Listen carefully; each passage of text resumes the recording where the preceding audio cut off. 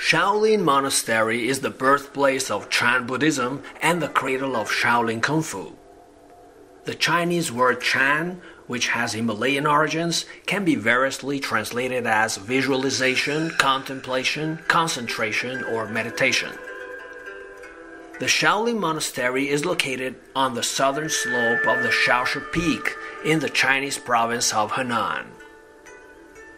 Chan Buddhism spread out from this region to Vietnam, Korea, and Japan between the 6th and the 12th centuries. The Chinese name Shaolin Si literally means the monastery in the woods of Shao. In fact, Shao which is short for Shaoshi, is the western peak of the famous Mount Song, one of the five sacred mountains of China. Emperor Xiaowen made donations to an Indian Chinese monk named Buddhabhadra, also known as Batuo, who founded the temple in the year 495 of the Common Era. As the first Shaolin abbot, Buddhabhadra devoted himself to translating Buddhist scriptures and to teaching hundreds of students. In 527, a Central Asian monk named Bodhidharma, often known by his diminutive Dharmo, arrived at the Shaolin Temple. Bodhidharma spent nine years meditating in a cave on the mountainside above the monastery.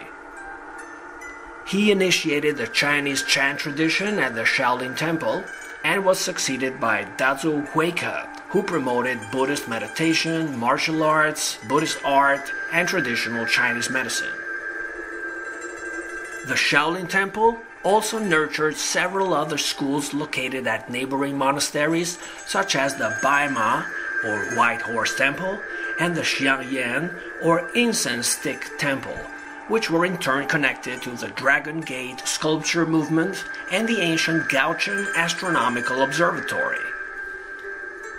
In a glade below the Shaolin Monastery is the so called Pagoda Forest, a complex of over 200 small pagodas built from the 8th to the 18th centuries.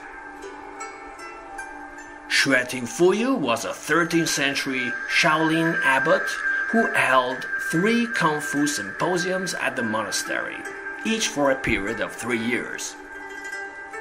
As the martial artists returned to their hometowns or home countries, they brought back the Shaolin techniques with them.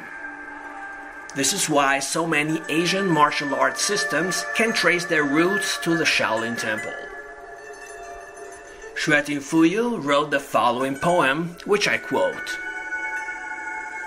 Only the holy person can walk the middle way and eventually attain wisdom and bliss.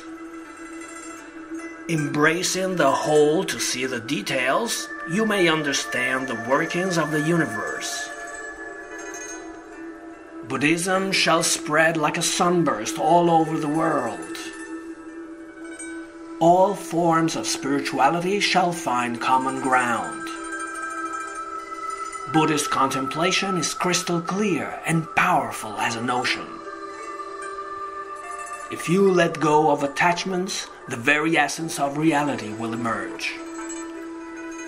Virtue and discipline always lead to strength and resolve.